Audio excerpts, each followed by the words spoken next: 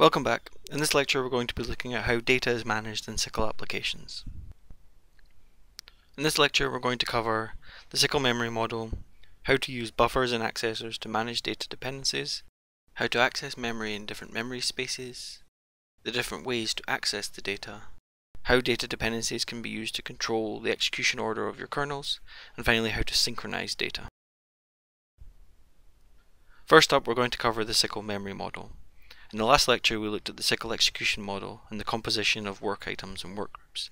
Here we're going to see how this relates to the hierarchy of different memory spaces available in SYCL devices. The fundamental component of execution was the work item, a single thread of execution. Now each work item can access a dedicated region of memory called private memory, and no work item can access the private memory of any other work item. Next up we had work groups, a group of work items collected together.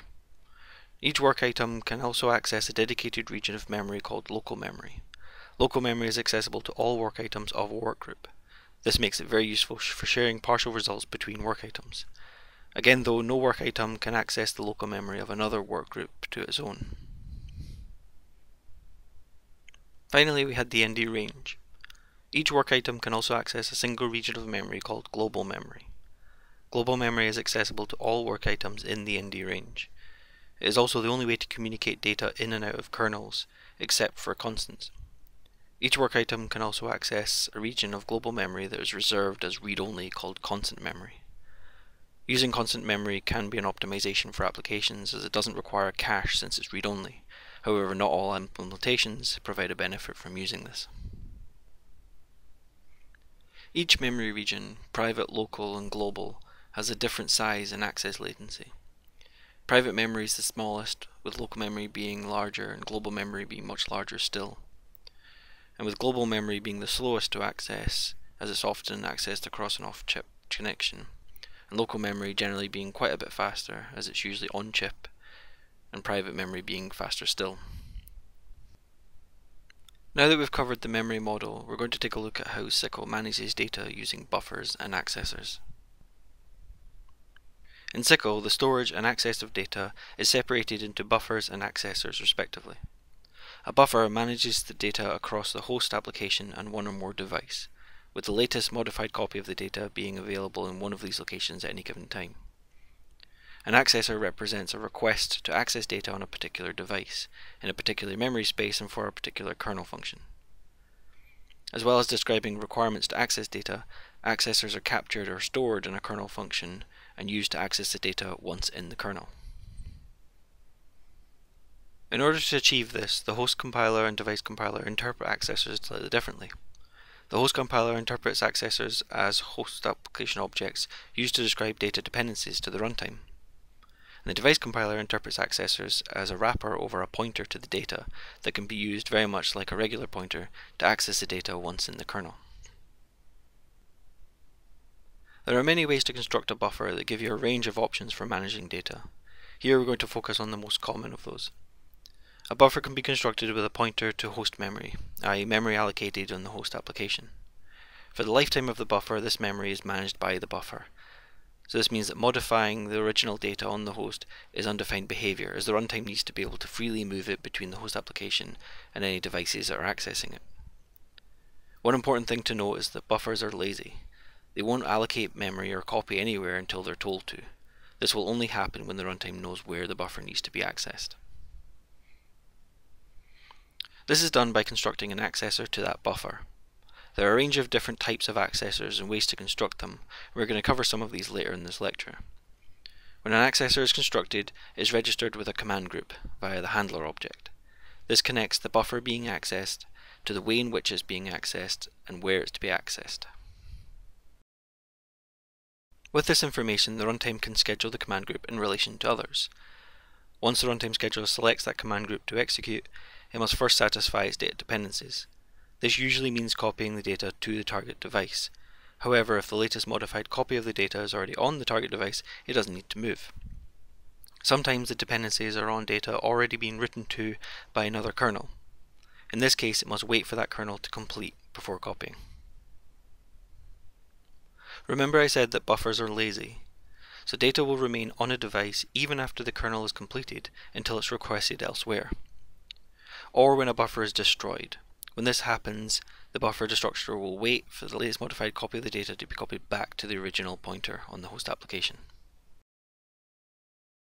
Now we're going to look at a couple of different cases of using a buffer across different devices. If a buffer is accessed on one device and the latest modified copy of the data is on another device, then the data will be copied over.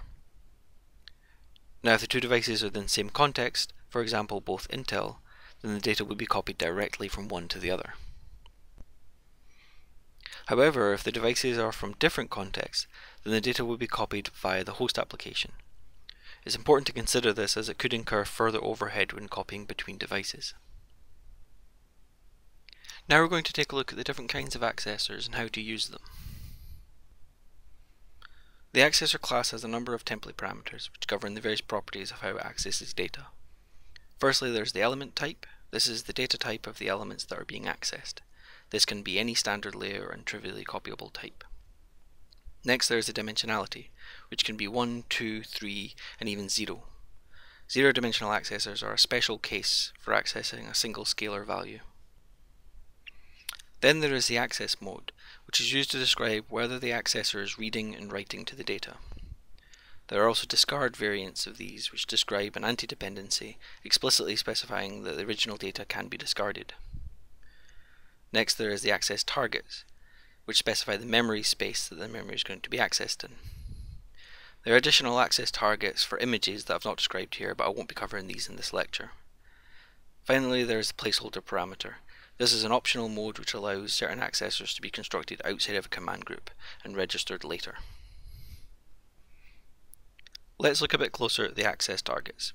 Accessors with the access targets global buffer or constant buffer will allocate memory and copy to the global and constant memory spaces respectively. Accessors with these access targets must be constructed from a buffer. A useful shortcut for constructing a global or constant buffer accessor is provided by the getAccessMember function of the buffer class. The element type and dimensionality must always be the same as the buffer. Next, let's take a look at the access target host buffer. This provides immediate access to the data in the host application, so this means it must be constructed outside of a command group. Again, a shortcut to constructing a host buffer accessor is provided by the buffer class. Constructing a host buffer accessor can trigger synchronization and copy the latest modified copy of the data back to the host application. Also note that a host buffer accessor will block any other accessor from accessing the data until it's destroyed.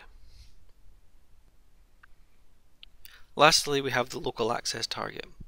Local accessors are a special case because they are not constructed from a buffer. Instead, you simply specify the type and the range of elements you want to allocate. However, local accessors allocate memory per workgroup, as they allocate memory in the local memory space. Local accessors are also only available for the duration of a kernel function. Now let's take a closer look at the access modes. The various access modes can be broken down into three main components. An access mode with read creates an accessor with read access to the data. An access mode with write creates an accessor with write access to the data. And this creates a dependency on any future accessor which accesses the same data. An access mode with discard creates an accessor that will discard the previous value of the data. This breaks a dependency on an accessor which are writing to the same data. Next we're going to take a look at accessor resolution.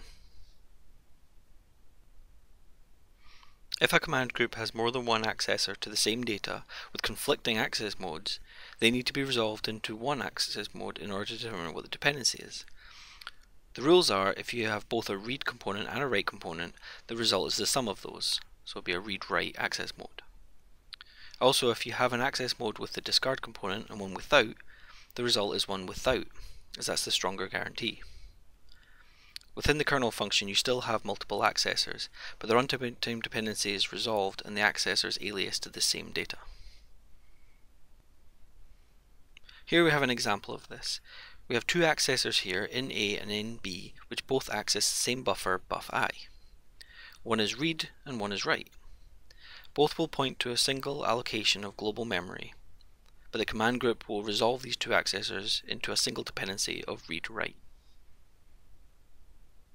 Finally, we're going to take a look at ways in which you can access data either in a kernel or on the host application using accessors.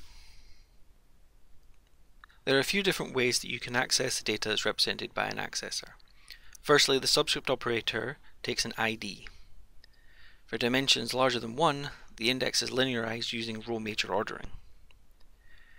You can also use nested subscript operators when there's more than one dimension, so you have one subscript operator for each dimension. Finally, you can also retrieve a pointer to the underlying memory by calling getPointer. This returns an object of multipointer, which is a pointer wrapper class which knows the memory space the data is in. Here we have an example of using the subscript operator of the accessors to access elements of the memory passing in an ID. Here we have another example doing the equivalent but by retrieving the multipointer for each of the accessors and using the subscript operator on the multipointers to access the elements in memory. Here we use the ID's member function getLinearID to retrieve the linearized ID. Again, this is in row major ordering just like the subscript operator of the accessor.